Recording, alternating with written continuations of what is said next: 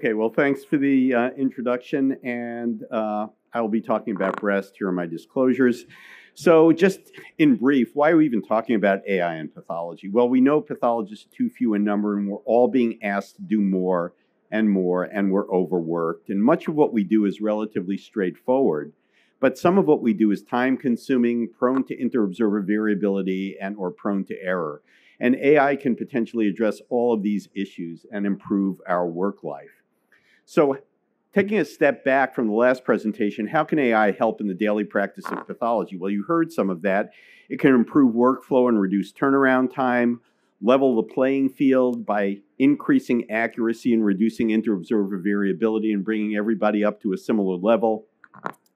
It can be used as second reads before final sign out to ensure clinically significant lesions have not been missed, so it can provide a QA function. And it can do things we don't like doing or not very good at doing or time consuming and do things we just can't do looking at slides on a screen or under the microscope. Now, to get right to the breast issue, um, this is a paper published by Judith Sandbank and NPJ Breast Cancer in 2022, talking about the development of the Ibex Galen breast algorithm. So this uh, talks about the development of this algorithm for breast pathology detection in whole slide images of biopsies. There was an internal test set and validated in an independent cohort, and it describes the deployment in routine clinical use. So how was this algorithm developed? Uh, it was based on a fully supervised multi-layered convolutional neural network and specifically designed to classify and analyze whole slide images of breast biopsies. It was trained on more than 2 million labeled image samples from multiple labs, manually annotated by more than 20 senior pathologists. And the algorithm can identify 51 different breast lesions and pathologic features of invasive and in situ breast cancer and benign breast lesions. Here are the data from the internal test set. You can see that for the detection of invasive cancer, the AUC was 0.998, and for DCIS, 0.999. You can't get much closer to perfection than that. So that's the internal test set. Was this validated? Yes, it was validated on an external validation set of over 400 cases. And for invasive cancer detection, the AUC on the external validation set was 0.99 and for DCIS 0.98. So this seems to be uh, consistently uh, applicable. How does this work? Well, you saw an example of this in prostate. Here is an example of DCIS on the left with a focus of invasive cancer on the right. If we apply the invasive cancer heat map, it highlights the invasive cancer in red. We apply the DCIS heat map, it identifies the DCIS in red. So this is a very accurate way of identifying different lesions in breast biopsies. Now, interestingly, this same algorithm has now been tested on more than 3,600 cases from six different sites. And you can see that uh, most of these studies were done on biopsies, but the last study was done on excisions. But there's remarkable consistency in the ability of this algorithm to detect invasive cancer in DCIS with AUCs uh, ranging from about 9.8 to 9.9 in all of these studies for both DCIS and invasive cancer. So, what are the added benefits of using AI in the practice of breast pathology? Well, it can prioritize cases, highlight clinically important lesions within cases. It can pre order receptor immunostains for invasive cancer and DCIS, thereby saving time. Pre order additional levels. For example, if the algorithm is uh, um, able to detect calcifications, but there are no calcifications in a biopsy, it can order additional levels so you get those more quickly. Judith's study showed that it can eliminate the need for IHC in some cases because it gives the pathologist more certainty about the diagnosis, can pre populate reports, including synoptic reports, and essentially act as a super resident or super fellow, even for the residents and fellows in the room. You can have your own super resident or super fellow. And all of this will help reduce turnaround time, which obviously is very, very important.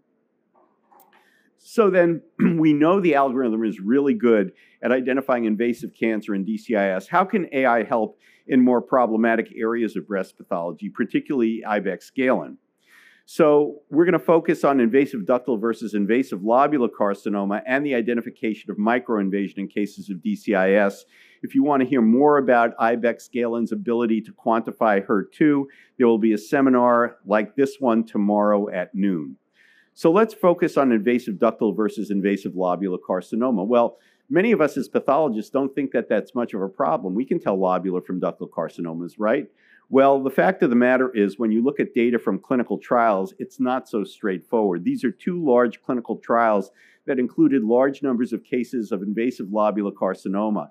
And among cases diagnosed as invasive lobular carcinoma at the original institution, in these two studies, only 60 to 66% of ILCs were confirmed on central pathology review. So pathologists do have a problem in reproducibly and uh, reliably diagnosing invasive lobular carcinoma. So how does Ibex Galen do in this? Well, pretty well. Uh, in 153 cases of invasive breast carcinoma, the distinction from invasive ductal from lobular carcinoma had an AUC of 0.97, quite good. In a follow-up study from uh, Hartford Hospital that was presented here last year using the same algorithm, looking at 180 cases of invasive ductal and lobular carcinoma, the AUC for the detection of lobular carcinoma in distinction from ductal carcinoma was 0.94. So again, this algorithm is really good at doing this. Here's an example of a core needle biopsy with an invasive carcinoma. And if you put on the invasive cancer heat map, as you saw in the prostate, the areas of cancer are highlighted in red. But the Galen algorithm also has the ability to tell you whether it's more likely to be lobular or ductal. And if it's lobular, it will be in blue. So we go to that part of the heat map and we see that the cancer is highlighted in blue. And at high power on H&E, you can see that this is clearly an invasive lobular carcinoma. Now, we recently did a study on the identification of microinvasion in cases of DCIS using this algorithm. This was presented by one of our fellows, Cansu Karakas, at, um, uh, as a poster yesterday. And in this study, we looked at 147 slides with DCIS from Brigham and Women's Hospital and Champalimaud Foundation. Rita Marques, who's the senior author on this uh, poster, uh, provided those slides from uh, Champalimaud. 85 of the slides uh, had microinvasion, 62 had only DCIS. But these cases of DCIS were so, these slides with DCIS were selected from the same cases as cases with microinvasion. So they essentially act as uh, each case acts as its own control among those cases. And I have to tell you that these cases were biased toward really difficult cases because when we were selecting these slides, Cansu and I were sitting around looking at slides, and I think Rita did the same thing, saying, okay, the algorithm will never get this. So we were trying to bias it toward problematic cases. In addition, the slides were scanned on, stain, uh, scanned on two different scanners at these two institutions. And I think it's important to remember that these slides were evaluated using an algorithm that was trained to detect frankly invasive cancers. It was not trained to detect microinvasion. So what did we find? Well, we found that the algorithm detected microinvasive foci with a medium to high likelihood in 83.5% of the cases, which absolutely blew me away when I saw these results. Moreover, among the 14 cases with microinvasion considered by the algorithm to be low likelihood of invasive cancer, after we as pathologists reviewed these cases, the algorithm had in fact highlighted microinvasive foci in all but two cases. So really the, the algorithm was able to identify microinvasion in 98% of the slides with microinvasion. Here's an example of a case of DCIS with microinvasion. You can see on the left an H&E stain section with DCIS on the left side and invasive cancer or microinvasive cancer on the right. And you can see that the invasive cancer heat map highlights this focus of microinvasion. Another case of DCIS with microinvasion, I think it's probably really hard to see the microinvasive focus on the H&E stain section, but if you look carefully at the area highlighted in red by the, by the heat map, there is a focus of microinvasive carcinoma. I don't know why my it's up there, trust me. Um, now, in all honesty, the algorithm also identified microinvasive foci in five slides missed by the pathologist and categorized by the pathologist as DCIS only. So that's a real oops. But I have to say, I don't feel too badly about that because in these cases, microinvasion had already been identified on other slides. So here's an example of a microinvasive focus missed by the pathologist and picked up by the algorithm. These are the kinds of cases that we all have nightmares about. We have DCIS involving lobules with extensive lymphoid infiltrate in the stroma. Uh, when the invasive cancer algorithm was applied, there was a little area of red highlighted by the algorithm. And at high power, you can see that this corresponds to a minute focus of microinvasion. Now, microinvasive foci are minute, but this is a minute focus of microinvasion.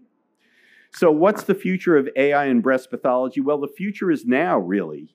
AI can provide improved accuracy, efficiency, and consistency for specific defined tasks like prioritizing cases, diagnosis and grading. We didn't talk about grading identification of lymph node metastases, quantitating histologic features and biomarkers, pre-ordering receptor stains and levels when necessary, and pre-populating reports. In the longer term, the AI algorithms will become more sophisticated and do things we currently can't do. And that's where there's going to be real added value. But ultimately, what we're looking for is integration of clinical, radiologic, histologic, biomarker, and genomic data to create a comprehensive computational pathology profile for optimal diagnosis, prognosis, and treatment. So I thank you for your attention.